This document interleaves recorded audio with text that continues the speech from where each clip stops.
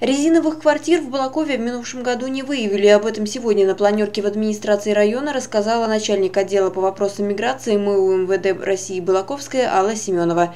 Так, по словам Аллы Николаевны, при проведении проверок осуществляется опрос собственников жилых помещений и проживающих с ними граждан, а также соседей с целью выявления информации о возможной эффективной регистрации граждан. С января 2016 года было отработано 72 адреса с возможной эффективной регистрацией, однако резиновых квартир выявлено выявлено не было.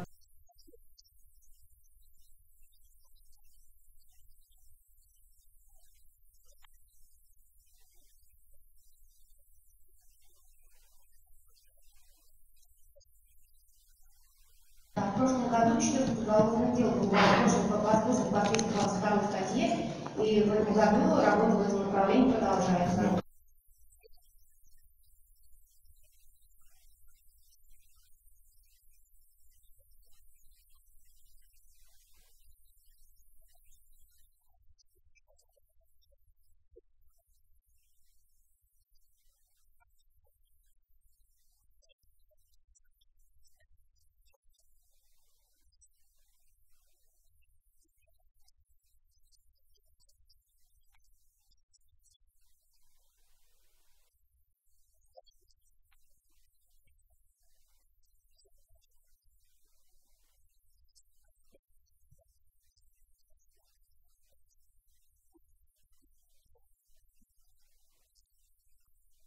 В случае выявления признаков фиктивной регистрации материалы дела направляются незамедлительно в отдел полиции для возбуждения дел по статье 322 части 2 Уголовного кодекса Российской Федерации.